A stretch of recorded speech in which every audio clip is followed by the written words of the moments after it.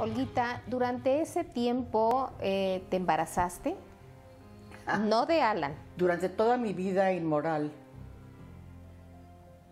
siempre usé anticonceptivos. Hubo una sola ocasión que iba a jugar un juego muy popular en el espectáculo.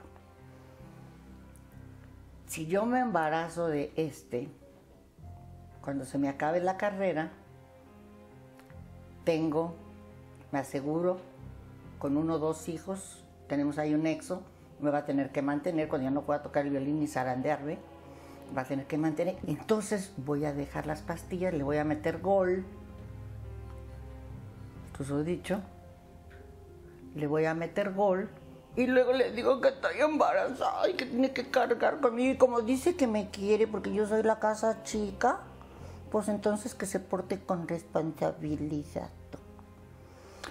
Pero en una ocasión, pensando en que Olga Briskin era amada, qué buen chiste, respetada, apreciada, se me ocurre confesarle al galán Fíjate que te quiero tanto, mi vida, que quiero tener un hijo tuyo. En ese momento, mi amada, salió el que compraba el producto, porque yo era un producto, me dijo, momento, usted no va a hacer nada que yo no le ordene. En el momento en que usted se embarace, señora, yo misma la llevo para que le hagan un regrado, porque yo no la tengo aquí para que me dé hijos, la quiero para que me dé. ¿Te gustó la respuesta? ¿Qué sentiste en ese momento? Que era una prostituta y nada brillante, mami. Que era una prostituta fracasada. Dije, ni siquiera eso haces bien las cosas, mija. ¿Para qué le dijiste? Le hubieras metido gol. Sin embargo, un buen día decidiste ser mamá. Pues me llegó el regalito, no. ¿No estaba planeado? En el año 84, yo tenía cita con el licenciado Alemán Velasco para un nuevo comercial en el Hotel Continental, donde estuve ocho años. Y cuando voy a salir del hotel, empieza un terremoto. Tan, pero tan fuerte, tan fuerte, que tuve una visión me, sostuve en la puerta y lo vi cómo se desmoronaba el hotel. Pero lo, lo vi. Entonces pasó el terremoto, llego con el licenciado para hacer una prórroga de contrato. Pero ahí la mente me cambió la jugada. Dije, le voy a renunciar. O sea, yo iba a prorrogar, vengo, licenciado, vengo a decirle que en diciembre de 84 termino mi contrato con el Hotel Continental estás bromeando, estás ganando mucho dinero, me dijo. No estoy bromeando. Yo tenía romance con, mi bailarín Joy Doucet. Entonces me dice, ¿por qué no nos vamos a, Estados Unidos? Porque esto se acabó. Entonces me dice mi pareja, me dice Joy, dice, ¿y por qué no nos vamos a Nueva York? Porque yo lo conocía él en Nueva York. Digo, good idea. Vámonos a Nueva York. Y dije, en ese momento le voy a hacer realidad a mi papá su sueño de que su hija estudie en Juilliard de Nueva York como él, para ser egresada y volver a lo que siempre he querido, que es la música clásica de concierto. Vámonos a Nueva York, viejo. Afortunadamente estaba el dinero muy bien, todo aparentemente estaba muy bien. La mansión sota, mi mamá con 20 sirvientes, todo estaba aparentemente bien. Llego a Nueva York, voy a hacer la audición de Juilliard. Cuando estoy preparando la audición, siento un mareo. Enero de 85. Como que no me está sentando en Nueva York. Pero no le tomé importancia, seguí practicando. Y en ese momento digo, no, espérate. Me voy a hacer unos análisis. Ahí en Nueva York. Ya tenemos departamento rentado, todo. Dice, you're pregnant, estás embarazada. Mm. ¿really? Lo leía y lo leía y decía positivo, positivo, positivo, positivo. me vuelve a cambiar la jugada. Entonces digo, no, no, no, espérate. Vete a tu casota de México, vive tu embarazo, tranquila. Le dije a Ducet, yo no sé, compadre, pero yo voy, yo voy a, no sé si tú quieres ser papá, pero yo voy a ser mamá. Es contigo o sin ti. En ese momento se me acabó la, la- la vida privada, mami. Nadie Todos encima de la cara mi Se enteran algunos empresarios amigos que ya estaba la Brisken de México. Empiezo a hacer algunas cositas, pues para estar en actividad y tener algo ahí extra, porque me encantaba el, me encantaba el dinero.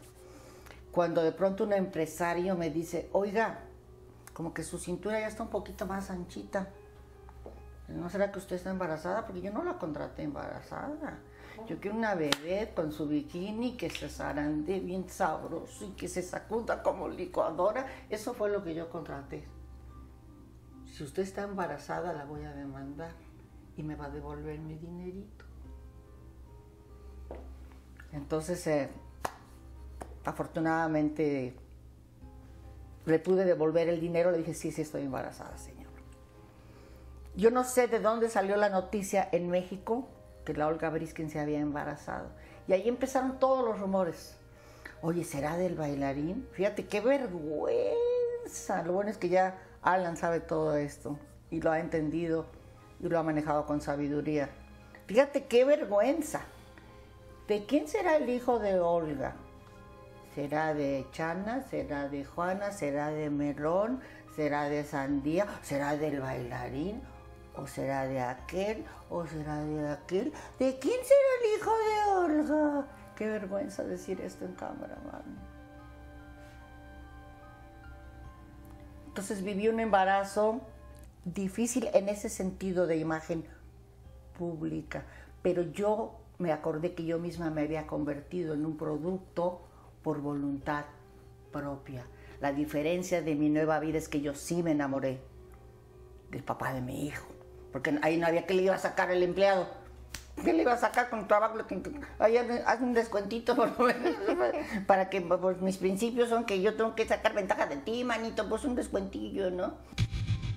Pero me siento contenta de haberme enamorado de la misma manera que Elias Briskin se enamoró de mi mamá, de manera incondicional, haya o no haya, proveas o no proveas, tengas o no tengas, tú eres el hombre de mi vida, tú eres el papá de mi hijo, yo te amo a ti por ti, compadre, y va, va que va. En ese momento nace mi hijo y Joy anuncia, en- precisamente en Siempre en Domingo, era el lanzami- lanzamiento de Flans, y entonces dice, le dice Joy a, a Raúl Velasco, dice, toma un puro porque acabo de tener un hijo. ¿Eh? Este, Olga está dando a luz en este momento un varoncito en el hotel, en el hotel, en el hospital Humana del Pedregal. En ese momento se me acabó la, la- la vida privada, mami.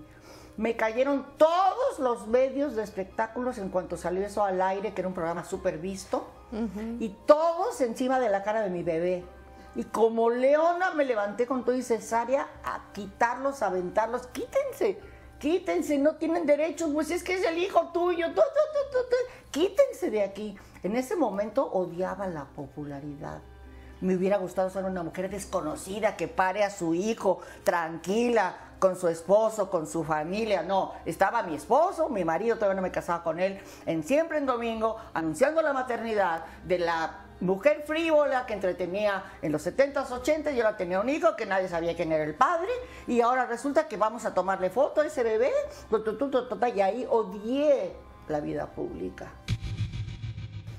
Ahí entonces ya decido casarme con, con Joy, nos casamos en diciembre del 85, pero lo más terrible fue que dos semanas antes de parir a Alan, viene el terremoto de la Ciudad de México, el que yo había visualizado antes. No me creyeron, me dijeron, si tú te vas, vamos a traer al Crazy Horse de París, así que no juegues con nosotros, digo, traigan a quien quiera, yo me voy es en serio, le digo, en buena onda, en buena onda, yo, esto se va a caer.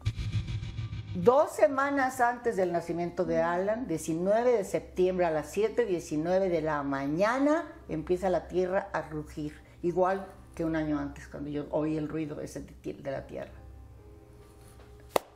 El famoso terremoto de México. En ese se momento se- se cayó, se cayó México. Entonces ya regresé, luego me fui a, a Marrakech. Pero, Patti, querida, había cambiado México. Ya no había la seguridad. El dólar ya se había adueñado. El peso estaba disparado. Empezaron los asaltos, los secuestros, la inseguridad, por lo menos en esa época. Y me dice un día, Joy, ¿por qué no nos vamos? Vámonos a Los Ángeles. ¿Cuándo viene el colapso? ¿Cuál de todos?